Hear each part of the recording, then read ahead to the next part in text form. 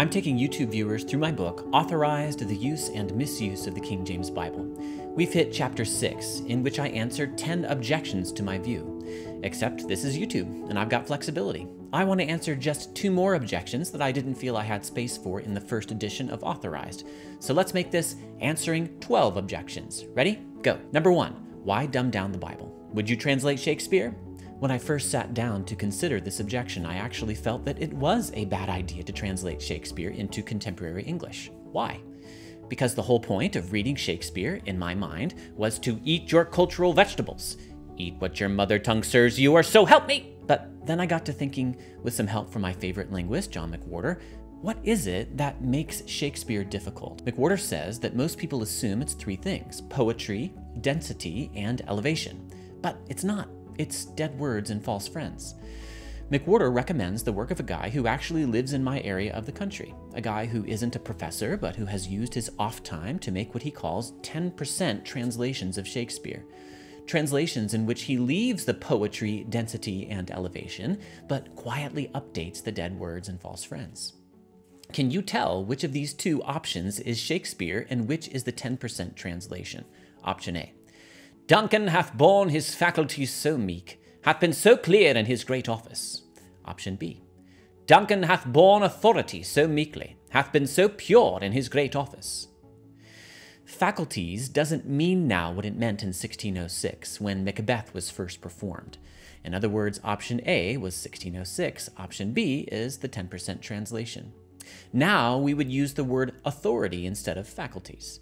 Even the simple word clear didn't mean in 1606 what it means in a context like that today. We would use the word pure. The result of a 10% translation still clearly sounds like Shakespeare. And I think it's what Shakespeare would want. Who writes a play desiring to be misunderstood at random moments because of language change? And who translates a Bible desiring the same thing? With the King James Version and with Shakespeare, it all comes down to what you value. Do you value tradition, having the same cultural experience that everyone else has had? Or do you value understanding? Now, the answer is that you value both if you possibly can. That's why I began Authorized by talking carefully through the things of value that we will lose if we let the King James Version cease to be our common standard English Bible. But what about when these two values come into conflict? Tradition versus understanding. Evangelical Protestants like me have an answer, a definite one. Understanding ought to weigh more. It is more important. If it weren't, we'd still be using the Latin Vulgate. Edification requires intelligibility. Number two, the King James Version sounds like the Word of God. The modern versions are just so quotidian, so pedestrian, so banal. I will be the four millionth to admit that King James English is beautiful English. It sounds like the Bible to me too. I grew up with it. But I've had to stop and ask myself biblically speaking, what should the Bible sound like? We are probably in agreement that it should not sound like the hoodlums loitering outside a gas station near you. Hmm, uh, should it sound like elegant Charlestonians, you know, a refined southern accent? No, that would be weird too. How about Canadians? They're nice. Uh, should it sound like them? No, sorry, I'm not about to let that happen, eh? Oh, here's one. Should it sound like turn of the 17th century well educated British people from the upper classes? Every variety of English, in other words, comes from a time, a place, and a people. Yes, we do associate Elizabethan English with the sacred, not just religiously, but even culturally, as in Shakespeare. But there's nothing necessary about this. Is God incapable of speaking contemporary English, our English? Sociolinguistics has taught us that there are always up and down versions of a language of any size. There are dialects with cachet and dialects that people look down on. Neurosurgeons very rarely talk like Mater from the movie Cars, for example. It's understandable that people feel that the Bible, sacred language, belongs in a high and exalted dialect of English. But God had a chance to choose grandiose, grandiloquent language when he inspired the Bible, and he didn't. He chose common Greek for the New Testament. The very name we give it today, koine, means common. Biblically speaking, then, we should use commonly accessible English when we translate.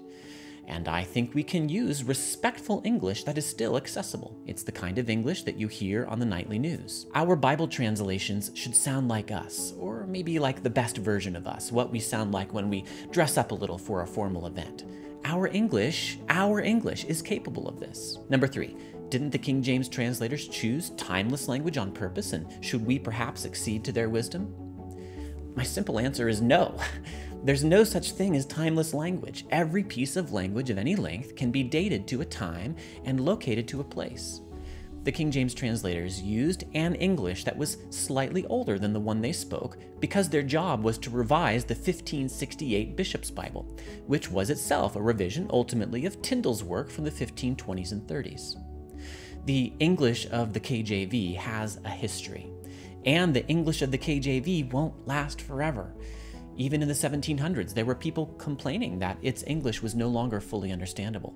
One of those people was Ben Franklin, I kiddeth not. Here's what he said The language is much changed since 1611, and the style being obsolete and thence less agreeable is perhaps one reason why the reading of that excellent book is of late so much neglected. And here's Noah Webster of the 1828 Webster Dictionary, who said something similar a few years later. In fact, he actually mentions dead words and false friends. Listen.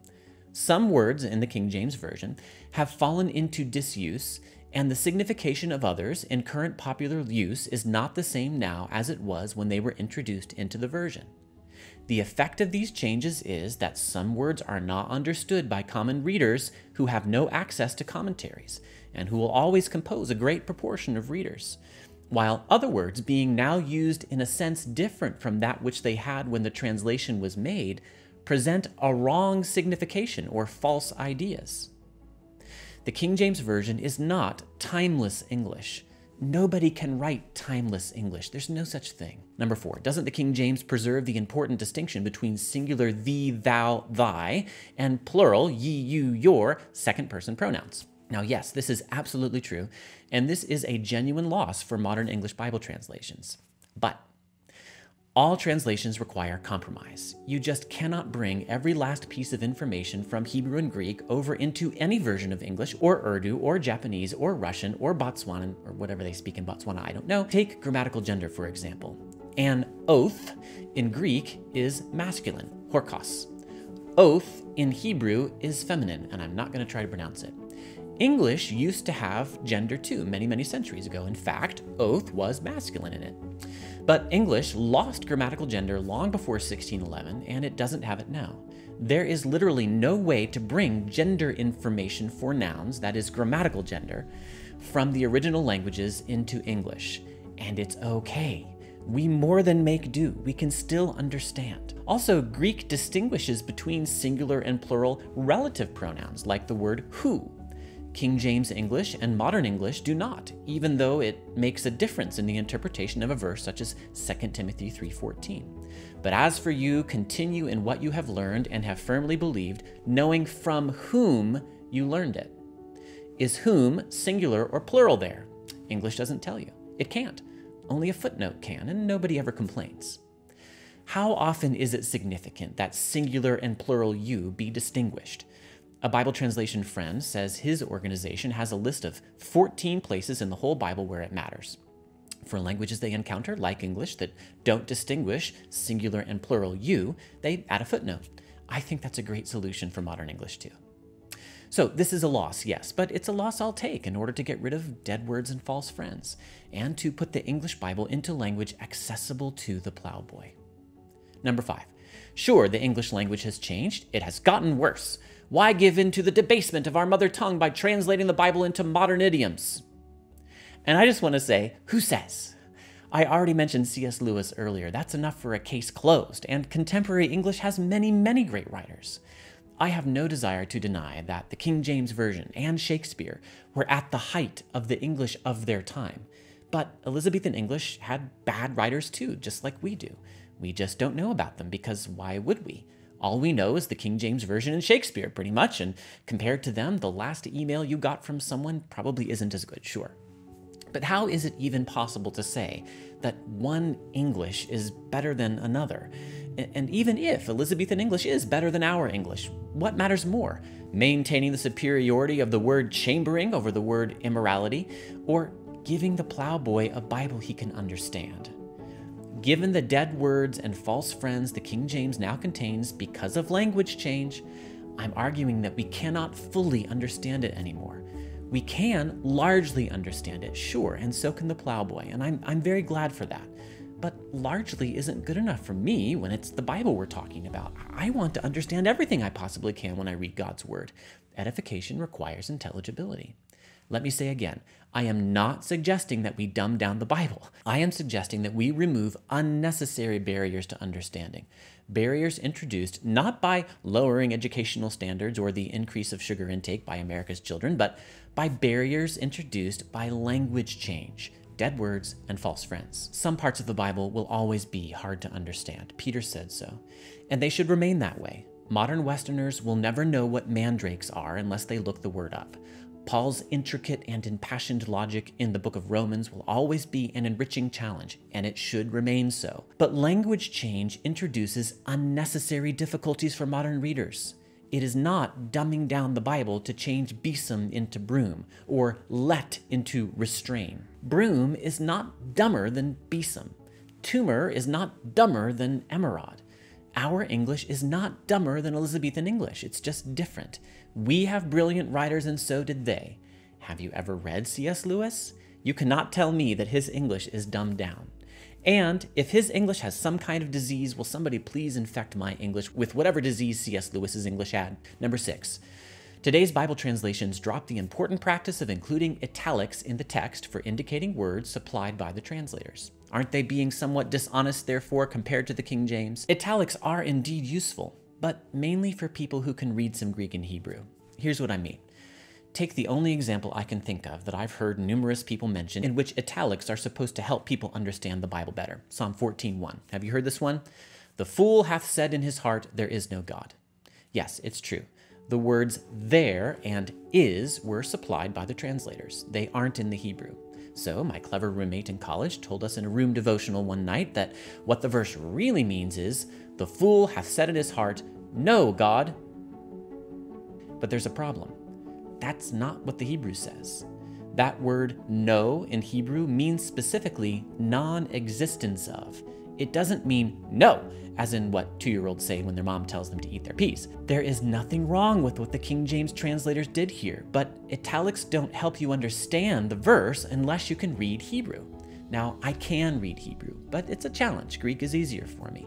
This very day, right before I recorded this, I was studying Proverbs and I checked the Hebrew in Proverbs 24 23 to see whether the sayings of the wise there are called something specific or is it just generic? Is it words or is it things? I was pretty sure that the Hebrew text did not include either one, but I checked the italics in the King James just to make sure. And indeed, those italics in the King James helped me be certain of what I saw in the Hebrew because they italicized the word things. This is all a little hard to explain if you don't know Hebrew, a language which just doesn't work like English does. But this I'm certain everybody out there can understand. Try reading a page of the King James Version without the italicized words. It won't make good sense. The King James translators supplied those words because they are pretty well demanded by the context. That's just the way translation works. The italics aren't strictly necessary. Notice also that in modern English, italics mean emphasis. Most readers of the Bible, I think, understand what they mean the King James or the NASB, which also uses italics, but it's just one more bump in the readability road for the uninitiated, and, and it really isn't a whole lot of help.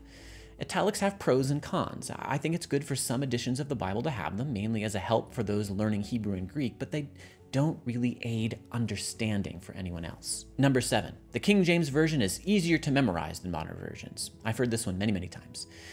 Well, the King James surely was easier for me to memorize because I was very young when I started to read it and very young during the whole period in which I read it exclusively. I don't think the King James is any easier to memorize in itself. It just happens to be what a lot of us grew up on. What we're commenting on is how much easier it is to memorize anything when we're young rather than old and decrepit and senile like we are now. Sometimes people also complain that scripture memorization is harmed by the use of multiple Bible translations in a church. Now, I think this is true, so I think it's good for churches to pick one Bible translation to use and I think picking one modern translation and sticking with it will solve any memorization problems. Number eight, the King James Version is a faithful literal translation. Other versions are more like paraphrases. The KJV is surely a literal translation. The technical term is formal. That is, it tends as much as possible to stick with the forms of Hebrew and Greek, especially word choice and word order. But multiple modern translations are also literal the New King James Version, the English Standard Version, and especially the New American Standard Bible. And if you've never used a less formal translation in your Bible study, you're really missing out. I urge every English speaking Christian to regularly read and check the New International Version. Where I grew up, to say this was like recommending that you wash your hands in radioactive mud. But finally, a teacher of mine in college persuaded me to just try it, and I've been doing it for 20 years now. And guess what? Over and over and over and over again, reading the NIV and other more dynamic or functional translations, like the New Living Translation, for example, has helped me understand little statements of the Bible I didn't realize I wasn't quite getting. For years, I read and even memorized Psalm 16:6 in the King James, and I didn't realize I was not understanding it. The lines are fallen unto me in pleasant places, yea, I have a goodly heritage. It is not the King James translator's fault that I never realized what lines David was talking about. Their translation is perfectly literal, perfectly accurate. We would say inheritance today, not heritage, but that's not a huge deal. Nonetheless, I didn't get this verse. I asked a friend once. He thought the lines were genealogical lines, like family trees. Then one morning I read it in the NIV, and it suddenly clicked. The boundary lines have fallen for me in pleasant places. Surely I have a delightful inheritance. That solved it for me. David was talking about lines around a lot of land. Yes, in a sense, the NIV added a word that isn't in the Hebrew, the word boundary, but the NIV translators sensed that that's what it would take for readers to understand what David was talking about. I just cannot get angry when someone helps me understand God's words. Often throughout my life, a less strictly literal translation has helped me understand what God says. Number nine, the modern versions are based on corrupt Greek and Hebrew texts. My work in Authorized is neutral on this question. Whether you prefer the Textus Receptus or not, or even whether or not you have any idea what that is, you should be able to agree with the case in my book. My case is about English, not Hebrew or Greek. The New King James Version and the Modern English Version are based on the very same original language texts as the King James, and they use contemporary English. You can have your TR and read it too. Number 10. The modern versions are copyrighted. They exist only for the money. The laborer is worthy of his hire. If someone pays money for translators to have sandwiches and meetings and Bible software and pays for editors and typographers and typefaces and paper and gilding and those nylon ribbons that always get frayed unless you melt them with a match first and leather and ink and printing and shipping, the Bible does not require them to do it all for free. Copyright protects them from having their work stolen by an unscrupulous foreign publisher. Now, that would be greedy, but it is not greedy to charge money for Bibles. I won't deny that there are some hokey study Bibles out there that smell suspiciously like consumerism to me. I don't know the personal motivations of every last person involved in producing modern translations, but neither does the internet. And claiming that your Christian brothers and sisters at Crossway and Broadman and Holman and Thomas Nelson are making Bibles because of greed is a very serious charge. I'd like to see some direct evidence. How much profit are they making? I asked the best friend I have among living English Bible translators, a godly older teacher and scholar who has memorized more Bible passages than you or I will ever manage. What kind of car do you drive? What kind of house do you live in? Have you been made rich by your work on the English Standard Version?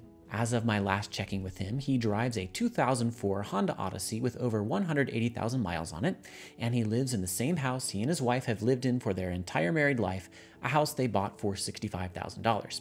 He did point out to me that, in all honesty, it's worth more now because of inflation. Countless other Christians who work on the other major modern English Bible versions are not perfect, but they are Christians who care deeply about the church. I don't like hearing their reputations attacked. Number 11. You are pushing modern version onlyism, only not King Jamesism. Let the Bible speak, brothers and sisters. God said, through the pen of the Apostle Paul in 1 Corinthians 14, that edification requires intelligibility. I do not care when a translation was produced. I care whether it meets that scriptural standard. In countless places, in fact, in the vast majority of the entire King James, the King James does meet that standard. but it also contains hundreds of dead words and at least dozens of false friends that I've documented. Good and loving Christians will differ over when this tally of dead words and false friends has become great enough that it's time to revise or replace the King James. I, I think we're there. Others for whom I have genuine respect think that we're not. But so far, to bring up my small cadre of critics again, none of the people who've dismissed my case about readability have explained how it is that the plowboy is supposed to look up false friends, words he doesn't even realize he's misunderstanding. I don't personally think there is an answer to this argument that I'm making. Now, it, it's not an attack on Wycliffe's Bible, it's not anti Wycliffe discrimination to say that it's not really suited for current use. We clearly don't speak that English. The difference between King James English and our English isn't as great as the difference between Wycliffe and our English. I, I readily acknowledge this, but I think the difference is great enough to cause serious concern. I don't think a church's only or main Bible translation should be the King James Version, because I do not think we should be using unintelligible words in church. I'm not telling anyone to throw their King James away. I certainly haven't. I use it every day. It's kind of hard not to when I've memorized so many King James verses, but I'm saying that no one should be insisting that anyone else use the King James Version exclusively. Not when it contains dead words and especially false friends. That would be placing a yoke on the neck of the disciples that neither our fathers nor we have been able to bear. No one I know of has fully memorized all the hundreds of obscure dead words in the King James Version chode, cuckow, knop with a K, neesings, murrain, etc., etc., etc. And no one I know of can spot all the false friends either. When the main response I have received to my false friends argument is, let's change the subject to Greek New Testament textual criticism, that makes me think I'm onto something. I simply have heard no real response to the question how are people supposed to look up words they don't even realize they're misunderstanding? Number 12. And finally, methinks thou dost protest too much. The problem isn't really that bad. You make it sound like the whole King James is unreadable, but I just read it this morning and it doesn't feel that way to me. In my mind, this is the most weighty objection to my whole project in Authorized. This is the debate I'm trying to have with my brothers and sisters in the King James only movement. How many dead words and false friends are required before we all agree that the King James Version needs to be revised or replaced? One dead word is not enough. 10,000 probably is enough. Are we agreed on those two poles? So we're somewhere in between those two numbers. So, where do we draw the line? I don't know. This calls for spirit filled wisdom. Countless thousands of godly conservative Christians have come to feel, as I have, that the readability problems posed by Elizabethan English are too great, and a bridge we just don't need to cross, considering how many good translations we have in contemporary English. For me, it was years of evangelism that most helped me to see how deep these readability problems are. I would talk to non Christian plowboys and plowgirls of all stripes, and they just really stumbled over King James English. It wasn't until much later, until I started reading other translations, that I realized that I myself was stumbling more often than I knew. And that ends up being my advice to anyone who loves the King James Version as I do and, and thinks my concerns about King James readability are overblown. Just read another translation if you never have. Just try it. Tell me it doesn't help you understand. Read through the whole English Standard Version. Read the whole NIV. Read the Christian Standard Bible. Read the New King James Version. Just try it. I have found over 20 plus years that checking multiple Bible translations is an essential part of my Bible study. They help me understand what God said. Don't pit readability against accuracy an accurate Bible that isn't readable isn't really accurate because it didn't get God's words into your language. We need both of those things. I find people sometimes don't believe me when I say I love the King James. It's all or nothing with them. I have to think the King James is 100% ideal, or they think I hate it. But I will not accept that false dichotomy. I can love the King James Version very deeply.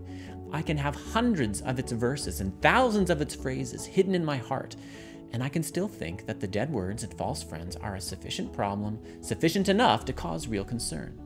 Edification requires intelligibility. I don't just love the King James Version, I love the plowboy for whom it was made. I want him to eat good spiritual food that he can actually chew.